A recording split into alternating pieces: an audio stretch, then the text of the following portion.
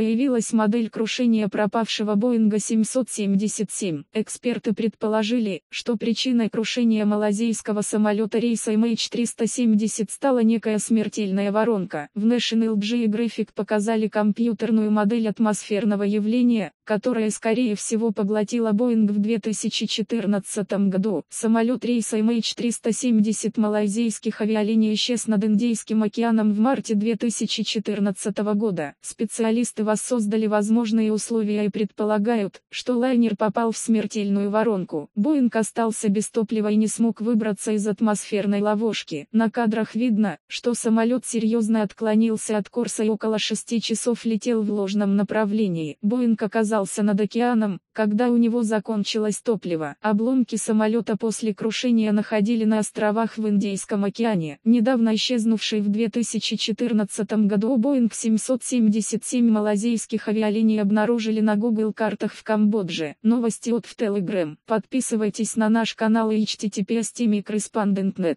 По материалам сайта Newsgro.com.